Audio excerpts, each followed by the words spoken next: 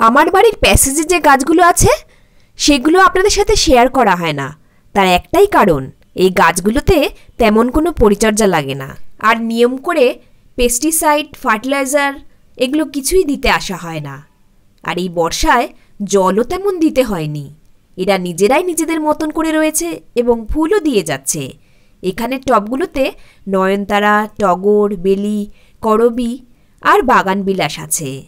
কিছুদিনের মধ্যেই বোগেনভিলিয়ার গাছে ফুলে ভরে যাবে। তাই ভাবলাম, বোগেনভিলার গাছে অক্টোবর মাসে আমি কী পরিচর্যা করছি সেটা নিয়ে একটা ভিডিও করি। নমস্কার বন্ধুরা, গ্রিনিপট চ্যানেলে আপনাদের সবাইকে স্বাগত।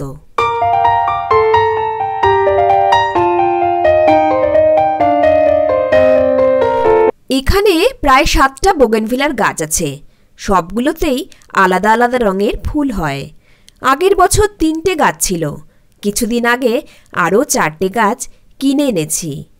বোগেনভিলার এই গাছটা যেটা আমি টেবিলের উপর রাখলাম, এটা গ্রাফটিং করা রয়েছে। একটা গাছে প্রায় ছটা কালারের ফুল হবে। আগের বছর এই ফুলটা ফুটেছিল এবং সেই ভিডিও আপনাদের সাথে শেয়ার করেছিলাম। এখন এই গাছে আমি পরিচর্যা করব, এই গাছে টবের মাটিতে সার প্রয়োগ করব এবং গাছে একটা স্প্রে করব। তার আগে ওপরের মাটিটা একটু খুঁড়ে নিচ্ছি। প্রচণ্ড বর্ষায় এই গাছগুলোকে আমি কাটিং ও পিঞ্চিং করে দিয়েছি। যদিও প্রচণ্ড বর্ষায় গাছে কাটিং করাটা উচিত না, কারণ গাছে কাটিং করলে ফাঙ্গাল অ্যাটাক হয়। পিঞ্চিং করলেই এই গাছটা সুন্দরভাবে শেপ পায় এবং গাছটা দেখতে সুন্দর হয়। যেহেতু প্রচণ্ড বৃষ্টি পড়েছে, তাই আমি নিয়ম করে এই গাছে পিঞ্চিং করতে পারিনি।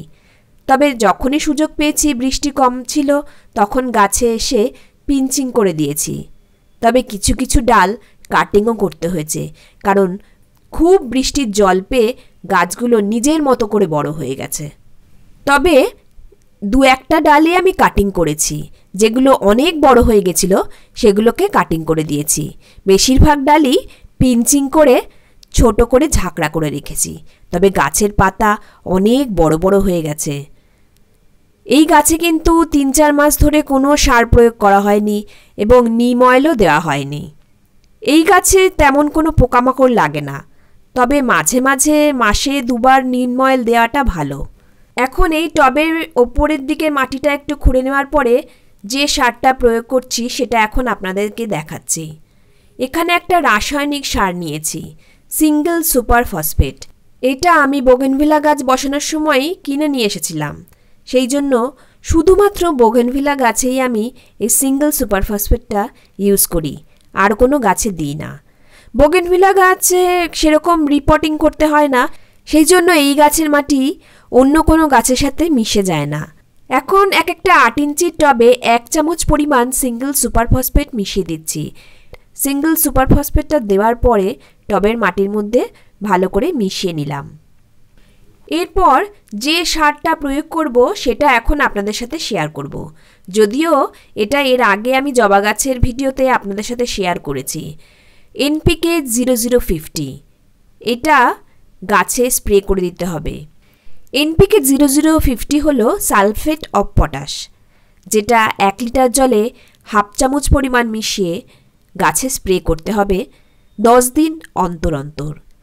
আমি জবা গাছেও মাঝে মাঝে স্প্রে করি, তবে দশ দিন অন্তর অন্তর আমার স্প্রে করতে হয়নি, কারণ আমি দুটো লিকুইড ফার্টিলাইজার নিয়মিত গাছে দিয়ে গেছি।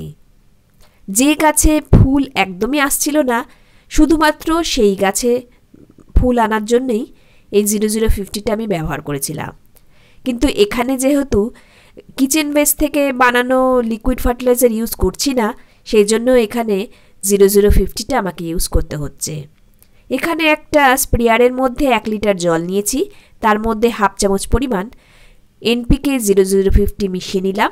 ভালো করে বটলটা ঝাঁকিয়ে নেব, এরপরে সবকটা গাছেই স্প্রে করে দেব। আমার বাড়ির নিচে প্যাসেজে যে কটা গাছ আছে, সব গাছে কিন্তু ফুল গাছ সেই ফুল গাছগুলোতে এই জিরো জিরো ফিফটি স্প্রে করে দেওয়া যাবে। এখানে টগর, বেলি, করবি নয়নতারা, সব গাছেই আমি জিরো জিরো ফিফটিটা স্প্রে করে দেব। এই গাছটাতে এখন ফুল আসতে শুরু করেছে। ধীরে ধীরে সব গাছগুলোতেই ফুল আসবে। ফুল আসার আগে গাছে যদি সার প্রয়োগ না করা হয়, ফুল আসলেও ফুলের সংখ্যাটা কম হবে, ফুলের কালারটা ভালো থাকবে না এবং ফুলটা বেশি দিন স্টে করবে না। আপনাদের, যাদের বাড়িতে বোগেনভিলার গাছ নেই, অবশ্যই বোগেনভিলার গাছ লাগান। কারণ এই গাছে তেমন কোনো পরিচর্যা লাগে না। কিন্তু খুব সুন্দর ফুল হয় এবং অনেক দিন ধরে ফুলটা ফুটে থাকে। দেখতেও খুব সুন্দর লাগে। তেমন কোনো পোকামাকড় লাগে না, সেই জন্য নিয়ম করে পেস্টিসাইড ফাঙ্গিসাইড কিছুই দিতে হয় না। প্রতি বছর রিপোর্টিংয়ের ঝামেলাও নেই এবং সার প্রয়োগও কম করতে হয়, জলও কম লাগে। এই গাছ খুব বেশি জল পছন্দ করে না, তবে নিয়ম করে অল্প অল্প করে জল দিতে হবে।